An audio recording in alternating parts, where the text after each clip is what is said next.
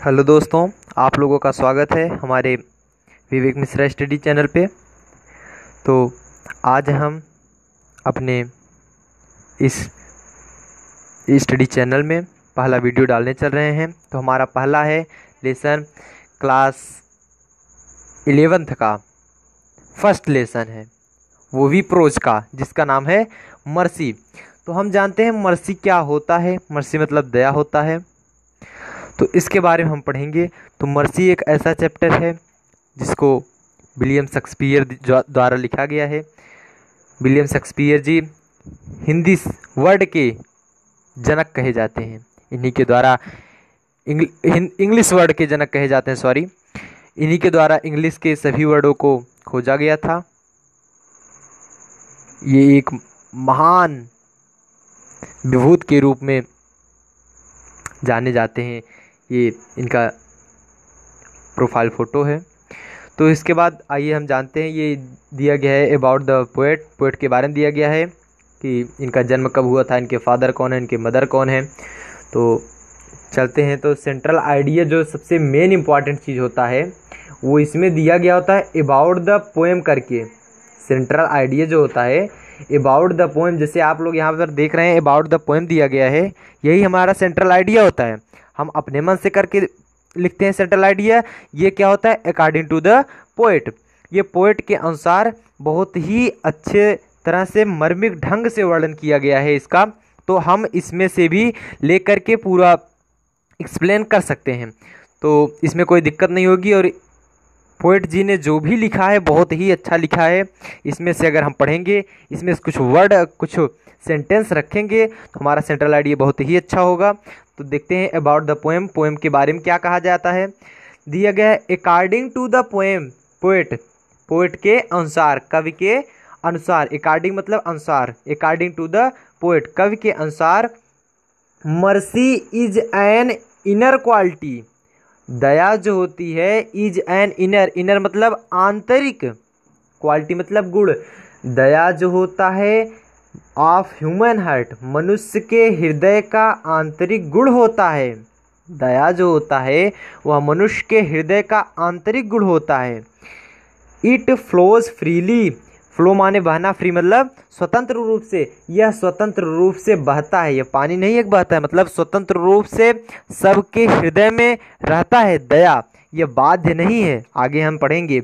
It is not strained it flows freely यह स्वतंत्र रूप से बहता है। It soothes the disturbed and excited mind it soothes soothe मतलब क्या होता है? शांत करना। इट सूट्स यह शांत करता है द डिस्टर्ब्ड डिस्टर्ब मतलब डिस्टर्ब मतलब परेशान एंड एक्साइटेड मतलब उत्तेजित मन को माइंड मन। दया जो होता है, यह उत्तेजित तथा परेशान मन को शांत करता है। सूक्ष्म मतलब शांत करना। उसके बाद it enrich both the giver and the receiver यह इनरिच मतलब क्या होता है? समृद्ध बनाना। इनरिच मतलब समृद्ध बनाना। यह मतलब दया। दया के बारे में बताया जा रहा है, मर्सी जो होता है, यह समृद्ध बना देता है बात दोनों को द गिवर जो देता है एंड द रिसीवर और जो लेता है, यह दोनों क्या करता है, समृद्ध बना देता है। It is the most powerful quality of man दया जो है, यह मनुष्य की मोस्ट पावरफुल क्वालिटी है मतलब सबसे अति शक्तिशाली गुण है मनुष्य का। It decorates the king better than his crown यह डेकोरेट मतलब सजाना। द किंग किंग को बेटर देन मतलब बेटर मतलब ये कंपरेटिव डिग्री है। बेटर देन उसकी अपेक्षा में हिज क्राउन क्राउन मतलब मुकुट। दया की भावना जो होती है अर्थात मर्सी डेकोरेट करती है, सजाती है। किसको? राजा को। बेटर देन हिज क्राउन उसके राज मुकुट से ज़्यादा राजा को सजा सजाती है। अर्थात कहने का ये मतलब हुआ कि मर्सी जो है डेकोरेट करती। मर्सी जो है, राजा को उसके मुकुट से, मुकुट की अपेक्षा ज़्यादा सजाती है। ठीक है? It wields greater influence that his sceptre and the crown wield मतलब होता है काम में आना या फिर फिर आना हिलाना, कुछ भी हम कह सकते हैं। इट विल्ड अर्थात दया की भावना जो होती है ग्रेटर इन्फ्लुएंस ज़्यादा प्रभावशाली होती है। देन द स्केप्टर स्केप्टर मतलब राजा की तलवार एंड द क्राउन मतलब राजा का मुकुट राज मुकुट यह दया की भावना जो होती है, यह राजा के तलवार तथा राजा के मुकुट की अपेक्षा ज़्यादा प्रभावशाली होती है। It is a divine quality. Divine मतलब दैवी, क्वालिटी मतलब गुण यह एक दैवी गुण होता है। A king become god. एक राजा गाड मतलब भगवान की तरह व्यवहार करने लगता है, भगवान की तरह न्याय करता है। वेन जब द टेम्पर्स जस्टिस जब दया से मिल जाती है, उसकी भावना, जब दया के भावना से मिलकर वह न्याय करता है तब वह क्या करता है? एक गार्ड की, एक भगवान की तरह न्याय करता है। और आप लोग जानते हैं, भगवान कभी अन्याय नहीं करते हैं। उसी प्रकार जब भी कोई राजा होगा, अगर वह न्याय करेगा और वो भी मर्सी के साथ तो वह क्या करेगा? भगवान की तरह न्याय करेगा। तो आइए हम चैप्टर चैप्टर पे आते हैं। तो देखिए क्या किया गया है। द क्वालिटी ऑफ़ मर्सी, दया का गुण, इज़ नॉट स्ट्रेंड स्ट्रेंड मतलब बाध्य होता है। बलपूर्वक होता है। दया का गुण बाध्य नहीं है, अर्थात दया का गुण बलपूर्वक नहीं लाया जाता है। इट ड्रॉफ्ट मतलब बूंदे एज द जेंटल माने आदर्श, रैन वर्षात फ्रॉम हीवन मतलब स्वर्ग।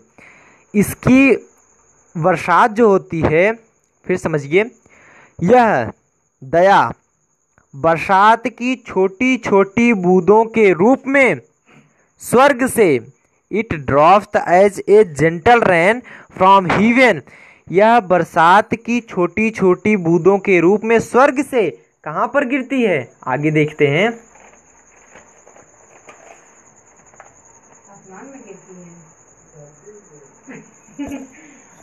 स्वर्ग से अपान द प्लेस बीनीथ धरती के, धरती पर गिरती है। अर्थात दया की भावना जो होती है, बरसात की छोटी छोटी बूंदों के बूंदों की तरह धरती पर गिरती है।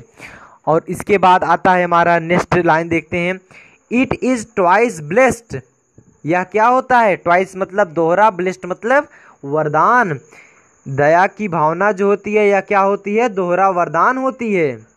ट्वाइस ब्लेस्ड किसके किसके लिए होता है?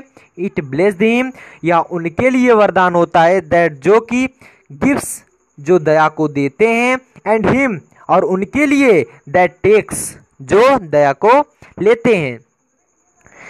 ये जो यहाँ पर टिस लिखा गया है, ये टिस नहीं इट इज़ होगा। इट इज़ ये बहुत पहले लिखा गया था, इसलिए टिस है। पहले हो सकता है, चलता हो, हमको भी नहीं मालूम, लेकिन इट इज़ है ये। It is mightiest in the mightiest यह शक्तिशालियों से भी ज़्यादा शक्तिशाली होती है। कौन? दया। It is mightiest in the mightiest यह शक्तिशालियों से भी ज़्यादा शक्तिशाली होती है, अर्थात सर्वशक्तिमान होती है। It becomes the throned monarch better than his crown becomes मतलब बनाना। यह बनाती है। थ्रोन मतलब उच्च पद। थ्रोन मतलब उच्च पद, मोनार्च मतलब शासक बेटर देन हिज क्राउन उसके राजमुकुट को। दया की भावना जो होती है, एक शासक को, मोनार्च मतलब शासक शासक को उसके उच्च पद, शासक के उच्च पद से ज़्यादा एवं उसके क्राउन मुकुट से ज़्यादा सर्वशक्तिमान बनाती है। It becomes the throned monarch better than his crown दया की भावना जो होती है, शासक के उच्च पद की अपेक्षा या फिर उसके सॉरी फिर से देखेंगे। It becomes the throned monarch better than his crown दया की भावना जो होती है, उच्च पद वाले शासक को उसके क्राउन उसके मुकुट की अपेक्षा ज़्यादा शक्तिशाली बना देती है। कौन? दया। हिज स्केप्टर स्केप्टर मतलब क्या होता है? राजा की तलवार। हिज स्केप्टर राजा की तलवार shows the force of temporal power temporal माने सांसारिक शक्तियाँ। राजा की तलवार जो होती है, वह राजा के सांसारिक शक्तियों के बारे में दिखाती है। सांसारिक शक्तियों को दिखाने के लिए होती है। Wherein doth sit the dread and fear of king oh sorry एक लाइन छूट गया। The attribute to awe and majesty attribute मतलब गुण होता है टू एव मतलब भय एंड माइजेस्टी मतलब राजस्वी। या हम कह सकते हैं राजसी वैभव। राजा का जो गुण होता है वह दूसरों के प्र, दूसरों को दिखाने के लिए भय और राजसी वैभव दिखाने के लिए होता है। राजसी वैभव दिखाते हैं राजा।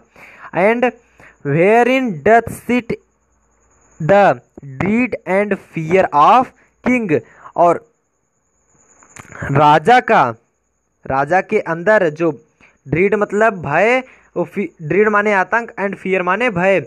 राजा ये सोचता है दूसरों के हृदय में उसका भय रहे और आतंक रहे। राजा इस दिमाग से न्याय करता है और इस दिमाग से अपना एक स्केप्टर दिखाता है स्केप्टर मतलब शो दिखाता है, उसके अपनी सांसारिक शक्तियों को दिखाता है। बट लेकिन मर्सी से हट के मर्सी से बहुत ही ऊपर है, ये सांसारिक शक्तियों को दिखाने के लिए नहीं, बल्कि आगे आगे देखिए but mercy is the above this sceptre sway लेकिन मर्सी जो है मर्सी मतलब दया। दया जो है इज़ एबो दिस स्केप्टर अवे राजा के उस सांसारिक शक्तियों को दिखाने वाली तलवार से कहीं ज़्यादा ऊपर होती है, दया। It is enthroned in the heart of king enthroned मतलब अंतर्निहित in the heart of king राजा के हृदय में। अर्थात दया जो होती है, वह राजा के हृदय में अंतर्निहित होती है। It is an attribute to God himself attribute मतलब गुण। गॉड मतलब भगवान हिमसेल्फ मतलब स्वयं का। यह जो दया होता है, वह भगवान के स्वयं का गुण होता है, दया। And earthly power doth then show likest God when mercy seasons justice earthly power मतलब सांसारिक शक्तियाँ डथ मतलब मिलकर देन सो लाइकेस्ट डथ मतलब दोनों या मिलकर show likest God's when mercy seasons justice mercy मतलब दया होती है सीज़न जस्टिस सीज़न मतलब सीज़न जस्टिस मतलब न्याय करने के लिए। लगाया गया है सीज़न जस्टिस तो देखिए, और जब सांसारिक शक्तियाँ और मर्सी दया दोनों एक ही में मिलकर, डथ एक में ही मिलकर न्याय करती हैं तो वह न्याय, वह किया गया न्याय भगवान की तरह न्याय होता है। अर्थात जब सांसारिक शक्तियाँ, राजा की वो सांसारिक शक्तियाँ और मर्ज दया की भावना मिलकर न्याय राजा करता है। दोनों अगर मिल जाते हैं, तब अगर राजा न्याय करता है तो वह भगवान की तरह न्याय होता है। तो इसी के साथ ये चैप्टर समाप्त होता है। थैंक यू गुड बाय फिर से मिलेंगे अगले वीडियो में। तो हमारा अगला चैप्टर होगा। ये तो फ़र्स्ट चैप्टर है। अगला चैप्टर देखते हैं। तो अगले चैप्टर में हम मिलते हैं। अगला चैप्टर हमारा है, द स्कॉलर। इसके बारे में हम कल चर्चा करेंगे। फ़िलहाल आज इतना ही। थैंक यू और हाँ अगर आपको वीडियो अच्छा लगे तो लाइक कीजिएगा। और हाँ तुरंत नोटिफिकेशन पाने के लिए चैनल को सब्सक्राइब कीजिए। धन्यवाद। और बेल आइकन बजाना ना भूलें।